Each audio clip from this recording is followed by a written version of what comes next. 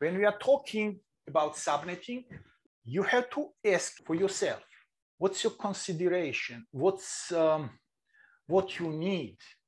To answer on this question, you have considered either how many subnets you need or how many hosts you need in each subnet. Let's say, let's say you need four subnets. When we are talking subnetting, this means that we must borrow some host bits from host portion and include those borrowed bits into network portion. All right, let's start from easiest way. And I always start explaining when I'm explaining subnetting, I always start from class C. And let's take class C. Let's take uh, any private IP address. It's okay to demonstrate subnetting. It's uh, it's uh, mm, it's okay. Uh, private address or public IP address. No problem. Let's take private IP address. 192 168.1.0. And we know that in class C, subnet mask is 255, the 255, 255, that zero. Now, you have to ask yourself either how many subnets you need, total subnets you need, or how many host addresses you need in each subnet. Let's solve both problems. Let's say subnets. Subnetting means, means borrowing host addresses for network portion. And now where we have host, host portion, host portion is this one, right? Last octet. And we call this last octet interesting octet, or you can say interested octet, because we are working on it. That octet is interested octet for us, because we must borrow some bits from that portion. This is this last one, fourth octet is right now interested octet for us. And let's translate this decimal zero into binary zeros. And we will have all eight bits zeros. Translating decimal zero is three, four, five, six, seven, eight. The previous slide, when I uh, explained and when we talked about the formulas, if you remember, I gave you three formulas to calculate networks and to calculate total hosts and uh, usable host addresses. Now, let's say you need three subnets, or let's say you need four subnets, four subnets. So I'll type here, is to the power of n to get, you need four subnets. N stands for number of bits you must borrow from host portion or borrowing host bits means that you are converting those bits from binary zeros into binary ones. We know that binary string of binary ones indicate network portion and zeros always indicate host portion. Now, can you tell me to get this desirable number four, because you need four subnets, how many bits we must borrow from host portion for network? Three. Huh? Three. Cannot hear you? Three. To the power of three, how much? Huh? Eight. Eight. We need four. What about if we borrow two? Yeah, we can do that. We can do that, right? Yeah. And now you are networker. Why don't borrow more bits? Yes, yeah, it will satisfy your condition, your requirement, but you don't need this. If you if you are borrowing three bits, so we are wasting addresses. Always try to solve this problem in more efficient way. We decided to borrow two bits because borrowing two bits from host portion gives us desirable result. So this means that we are now translating or those two bits which were previously in host portion are not in host portion anymore. Those zeros are now binary ones. And we know that binary num uh, ones always indicate network portion. And look here, the edge now between network portion and host portion falls between seventh bit, uh, between seven and sixth bit, okay?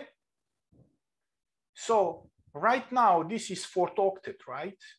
So uh, we don't care about the first three octets because though we are not working on those octets, we are working right now uh, on fourth octet that is interested octet for us. And now let's let's convert back to decimal into decimal notation this binary number ones column twos fours eight 16 32 64 128 all right this means that after translating back to decimal now we have custom subnet mask. Before it was default subnet mask. Now after subnetting, now we have custom subnet mask, which is 255, the 255, dot 192. Okay, so each subnet has 255.255.255.192 subnet mask. And this last binary one indicates the length of your subnet. And when we are talking about the length of our subnet, we must find out the magic number. The magic number is 64. The magic number is the last binary one in your network portion. Always check where it falls, in which number it falls. It falls, in this case, on 64. This means that the range or the length of our subnet is 64. Cisco says use original network address or default network address as a first subnet address, which is our original address. Original address is network address is this one. So we have total four subnets now. First subnet starts 192 that 168 that 1 that 0 we have the length of our subnet is 64 if we start counting from 0 which will be my last address 63 huh 63. Abs- who said Munir? Absolutely right. First subnet starts from default network address and it ends to this address. And indeed, look here, if you start counting and including zero and go up to 63, it gives you total number 64, which is our magic number. Okay, subnet mask. We have now custom subnet mask, no more default subnet mask because we already subnetted. So this will be 255, the 255, the 255 dot 192. Okay? But you can use, instead of subnet mask, you can use here in this way, slash 26. Why slash 26?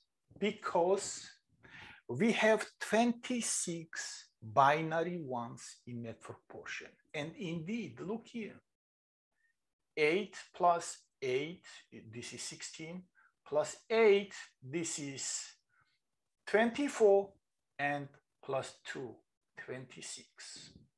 And we call this CIDR, classless inter-domain routing. Clear? And we call this network prefix. This is subnet mask. And when we have slash and something, we call that network prefix. And I'll remind you again, our main rule, subnet mask or network prefix always tells us where we have network portion in our network and where we have host portion in our address. Let's continue. And then I'll give you another 10 minutes break. We have network address, we have network prefix, we have broadcast address, and now we need to find out usable or assignable IP addresses. And assignable IP addresses are, I'll gonna type uh, first, let's say first two, two octets. I'll type only last two octets, starting from 1.1 to 1.62 all addresses between 0 and 63, we have all those addresses are usable IP addresses or assignable IP addresses. We can assign those addresses to the hosts.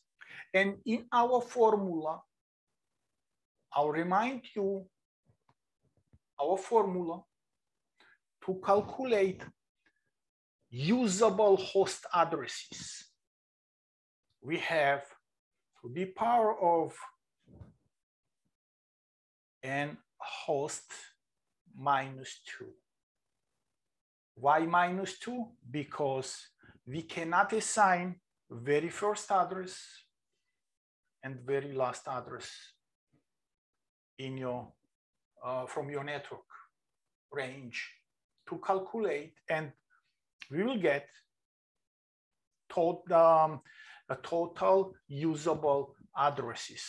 In this case, how, how, how many? 62 addresses you can have. What about second subnet? If we, if our network range ends on this IP address, next subnet, next address will start this will be second subnet, we'll start 64. Again, the length of our subnet is 64, right? Who can tell me the broadcast address? 127. 127. So all addresses between, and same thing here, slash 26. All addresses between 1.64 to 1.127, all addresses are usable or assignable IP addresses. Dot one dot one ninety one. Okay. Yes, this that is true. And one dot one twenty seven. uh, One dot one twenty seven. No, no. one dot, One twenty nine. okay. 29. One ninety. One dot one ninety. 1.190. Okay, it's good. And the last one, last subnet, Two fifty five. 255. Yeah, look. The length of our subnet is 64. If you start counting, including 192, which will be, which IP address will be the last one in that range? Of course, 255. Let's start counting. 192, 193, 194, 5, 6, 7, and so on, up to 255. Total number will be 64. And uh, now I'll ask you in different way. Guys, what is the first usable IP address in this range? Zero. Uh, 193. Absolutely right. Yes. 193. Who can me uh, can tell me what's the last usable IP address in this range? 254. Absolutely right. Guys, you are networkers, almost networkers, network professionals. Tomorrow, after a few days, you'll start working in the field. You need this. 254. Okay, we did it. We subnetted. This is the way how we are subnetting. But this is when we are subnetting into equal subnets. Because we everywhere we have same subnet mask slash 26. Network prefix is 26 everywhere. Right now, take 10 minutes coffee break. When you come back, we'll continue. I hope this was clear. What I explained you today, it was clear. Is it clear? Clear. Yeah. John, is it clear? Yes, Professor. Eddie, Yohanan, Yeah, yeah, Professor. I'm with you. Jan, guys, De La Cruz. Yes, hi, we have here. All Yes, right. clear. So 10 minutes coffee break. Now it's uh, 11.10. We'll continue 11.20.